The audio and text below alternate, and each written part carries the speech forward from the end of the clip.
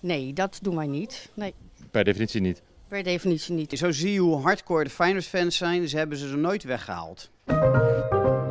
100% zeker is het nog niet, maar het kan bijna niet anders dan dat Feyenoord dit seizoen kampioen gaat worden. En dat betekent dat tattoo artists in Rotterdam overuren draaien. Ja, het meest rare is, is dat de laatste jaren hier bij Bob dus alle Feyenoord-spelers of Feyenoord-supporters allemaal de tatoeage laten zetten voordat ze dus de kampioenschap eh, hebben binnengehaald. Een van die mensen die vol vertrouwen een kunstwerk op het lijf laat zetten in verband met het aanstaande kampioenschap is Nico. Wat voor tattoo gaat er gezet worden vandaag? Uh, de, de, tattoo die ik heb is het van Feyenoord, de kampioenschap. En, en, en dan komt die Feyenoord logo en dan natuurlijk de kampioenschap met uh, 2022, 23. Esther, uh, jij zet een hoop tattoos uh, deze week, denk ik. Uh, dat klopt inderdaad. Ze zijn super fanatieke Feyenoord supporters, dus dat is super leuk. Hoeveel van dit soort tattoos worden er gezet deze dagen door jullie?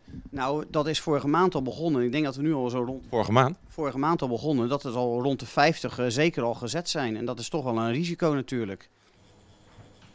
En als het nou niet worden?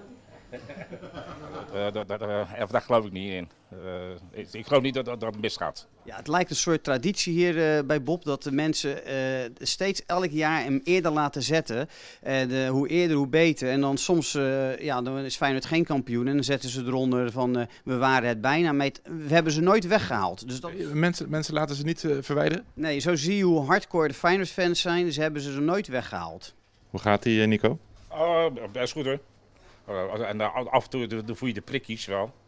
Maar, maar het is niet echt veel pijn. Stomme vraag misschien, maar ben je zelf Feyenoord-fan? Nou, laten we niet overdrijven. Nee, ik ben zelf ook Feyenoord-fan, jazeker. En dan de volgende vraag, heb je ook een Feyenoord-tattoo?